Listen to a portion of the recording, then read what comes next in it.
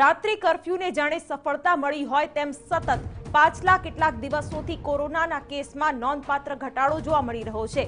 આરોગ્ય વિભાગની પરિણામલક્ષી મહેનત ગણો કે પછી ગુજરાતીઓની જાગૃતતા, પરંતુ સરકારી આંકડા પર જો વિશ્વાસ કરીએ તો ગુજરાતમાં કોરોનાના હવે વળતા પાણી થતા દેખાઈ રહ્યા છે. પાછલા ચોવીસ કલાકમાં રાજ્યમાં નવા છસો સડસઠ પોઝિટિવ કેસ નોંધાયા છે. તો ત્રણ દર્દીઓના કોરોના સારવાર દરમિયાન મોત નિપજ્યા છે. જ્યારે રાજ્યમાં કોરોનાનો કુલ મૃત્યુઆંક ચાર હજાર ત્રણસો બત્રીસ પર પહોંચ્યો છે. રાજ્યના શહેરોની જો વાત કરીએ તો અમદાવાદમાં બે દર્દીઓના મોત સાથે એકસો તેત્રીસ કેસ નોંધાયા, તો સુરતમાં એક દર્દીના મોત સાથે એકસો વીસ કેસ નોંધાયા. આ તરફ વડોદરામાં નવા એકસો ઓગણીસ પોઝિટિવ કેસ, જ્યારે કે રાજકોટમાં નવા એંશી કેસ નોંધાયા છે. રાજ્યમાં હવે માત્ર અઠ્ઠાવન દર્દીઓ જ વેન્ટિલેટર પર છે.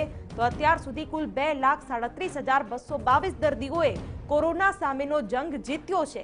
જ્યારે દર્દીઓના સાજા થવાનો દર પણ વધીને ચોરાણું પોઈન્ટ બાણું ટકા થયો છે.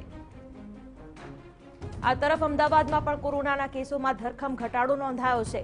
નવા વર્ષમાં કોરોના નિયંત્રણમાં આવી રહ્યો હોય તેમ એક તબક્કાવાર કેસ ઘટી રહ્યા છે. પાછલા ચોવીસ કલાકમાં અમદાવાદમાં બે દર્દીઓના મોત સાથે એકસો પોઝિટિવ કેસ નોંધાયા. અમદાવાદ કોર્પોરેશન વિસ્તારમાં એકસો કેસ નોંધાવાની સાથે એકસો દર્દીઓને કોરોનાનો સામેનો જંગ જીત્યો છે.